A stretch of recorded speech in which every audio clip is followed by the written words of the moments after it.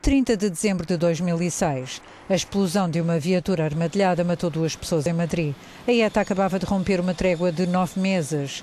Para Madrid, este atentado foi demais e acabou com a hipótese de encetar qualquer diálogo com a organização terrorista basca.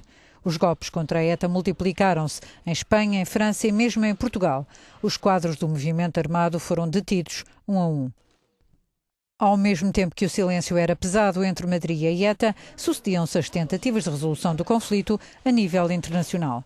Em março de 2010, pela declaração de Bruxelas, o advogado sul-africano Brian Curran foi incumbido de criar um grupo internacional de contacto para o conflito basco.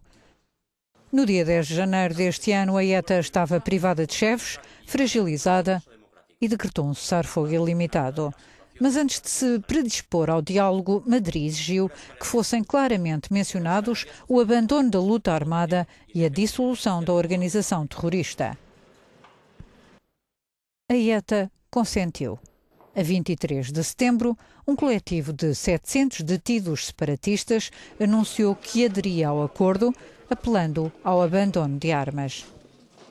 Quase em simultâneo, a organização ilegal EKIN, considerada a vitrina política da ETA, anunciou a própria dissolução. O ministro espanhol do Interior, António Camacho, aceitou. A organização iniciou o percurso final rumo a uma dissolução irreversível. O grupo começa a assumir o facto de que não pode fazer concessões à barbárie para influenciar a vida do país. O governo de José Luís Zapatero não se associou à Conferência de Paz em San Sebastián. Madrid espera ver para crer. E a oposição conservadora opõe-se ferozmente a qualquer debate.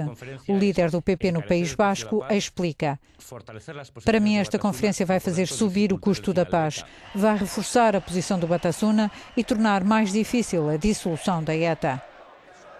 A Conferência de San Sebastián decorre em plena campanha eleitoral para as legislativas de 20 de novembro, tendo como pano de fundo a revolta popular contra os planos socialistas de austeridade.